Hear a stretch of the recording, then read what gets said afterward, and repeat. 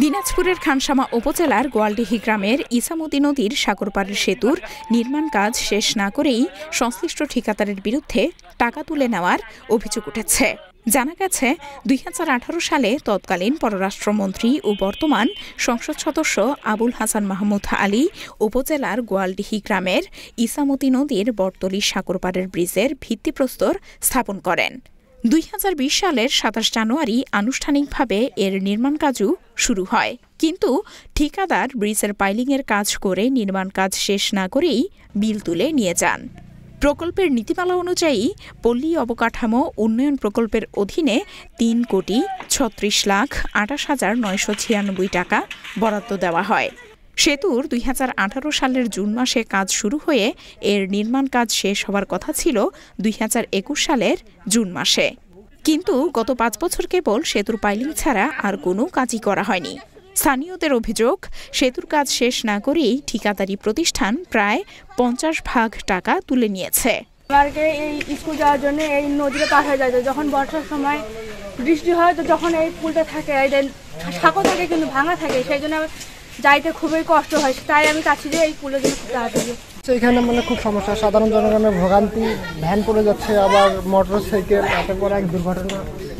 তারপর কালকে একজন অল্পর জন্য রড গলায় ঢুকে নাই আমার চাচা হয় সম্বন্ধে এই জন্য আমরা আজকে নিজের উদ্যোগে আমরা এইসব কাজ করি। দুই হাজার আঠারো সালে বাজেট দিয়ে গেছে এই আজ পর্যন্ত পাঁচ বছর হয়ে গেল কিন্তু ব্রিজের কাজ এখনও হচ্ছে না। শুধুমাত্র পাইলিং করে গেছি। এই পর্যন্ত কত কতদিন যে লাগবে? আর জনগণের খুব ভোগান্তি হচ্ছে। এই যে পাশে সাথে দিয়ে পার হচ্ছে মানুষ অনেকে পড়ে যাচ্ছে অনেকে আবার রড ঢুকছে ভ্যান পড়ে যাচ্ছে মোটর সাইকেল সব মানে স্কুল এই সামনে একটা স্কুল আছে ওপাশে স্কুল আছে ছাত্রছাত্রী খুবই ভোগান্তি হচ্ছে। যে কন্ট্রাক্টর কাজটা দিছে এই কন্ট্রাক্টর টাকা উঠে নিচ্ছে তেমন আর এই কাজটা করবে কায় এখন? আর এই দায়ী। কে হইবে? এই এলাকার এই যানবাহনের দায়িত্বে কায় হইবে? এখন যে মাইসের ভ্রান্তি এই সেই দিন এই অটোতে এখন মোটরসাইকেল আমার জাকির মেশার পড়ে দিয়েছিল। যদি অট প্যাটার সন্ধ্যা লেতে এইটা দায়ী কায় নিলে হয় সময় মতো সেতুর কাজ শেষ না হওয়ায় সবচেয়ে দুর্ভোগে পড়েছে ইসামতি নদীর দুই পারের মানুষ। যাতায়াত সহ অন্যান্য কাজে বিশেষ করে বর্ষাকালে চরম ভোগান্তি পোহাতে হয় সাধারণ জনগণকে। দুই হাজার আঠারো সালে এটা ভিত্তি হয়েছে হওয়ার পরে দেখা যাচ্ছে এটা কাজ পাইলিংটা হয়েছে হওয়ার পরে কাজ বন্ধ, কিন্তু ঠিকাদার দেখা যাচ্ছে ফিফটি পার্সেন্ট টাকা কিন্তু তুলে নিছে।